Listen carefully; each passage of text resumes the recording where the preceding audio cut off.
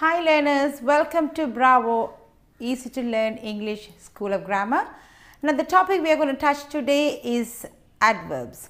Now this is one part of the eight part of the speech that we have covered earlier on. So we just want to go a little bit more in depth of what is an adverb. The exercise we are going to see today is called adverb.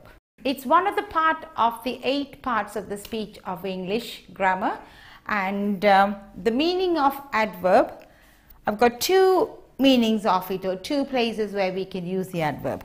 A word or phrase that modifies or qualifies another word. So it modifies or qualifies another word. It gives additional information to the verb. So adverb gives the additional information. So it just adds on a value to it to the verb that's used in the sentence. Another format of explanation, a word that expresses a relation to the mannerism of the person, the place, circumstances, time, etc. So adverbs are usually used to enhance these words. So let me give you some examples of the manner, place, circumstance, time, etc. with some uh, uh, sentences where you could see where how it's been used. I think it's, it's more easier than me trying to explain it this way. So let's go to the examples. Okay, so we looked at uh, four examples of the adverbs manner, place, circumstances, time, where it's used. Okay, so the first couple of examples of the first one, which is manner. He writes legibly. So he writes so clearly, so so beautifully presented. So he writes legibly.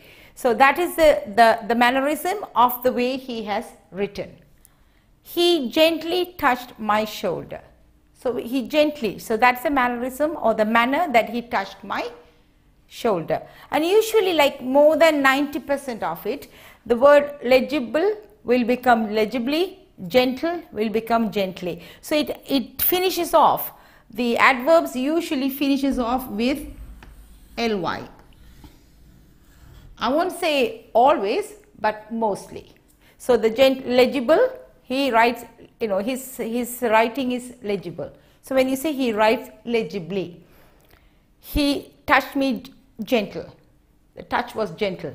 He gently touched my shoulder. So you can see it's like, you know, it's, it's the ly has been added on to the, to the word to give it the prominent meaning of uh, the manner that it has been used. The second example is place. There are several good hotels available in London. There is a big house in the corner of the street. Now here the adverb is there. So it's, it's not finishing with ly. I did say to you mostly it finishes with ly. Here it's not finishing with ly.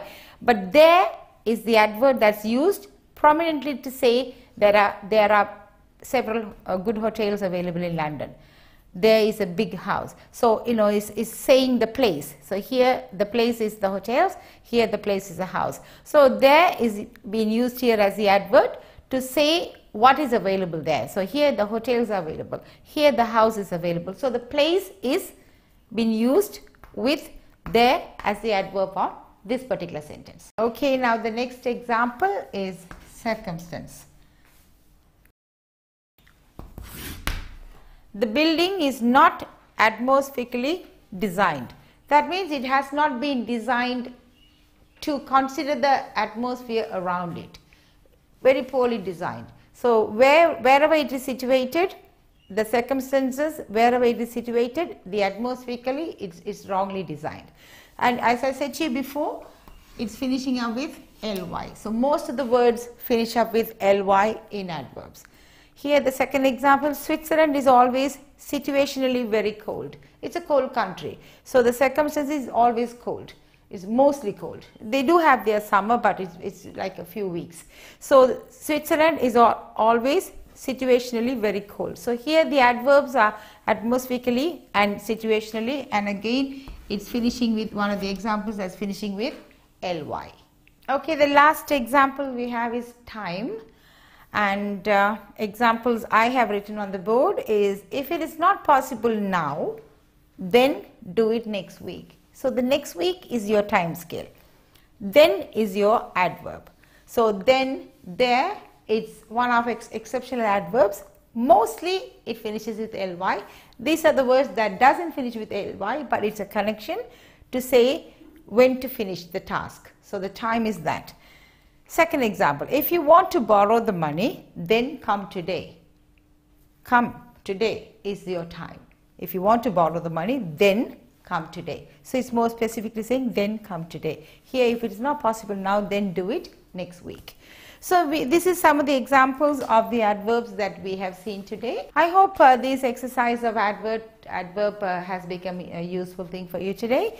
And we've seen some, uh, four examples uh, of the words uh, manner, place, circumstances and time with some uh, um, sentences that we have seen how to use them. So thank you very much for watching Bravo Easy to Learn English School and I hope that you've enjoyed learning this today. Thank you.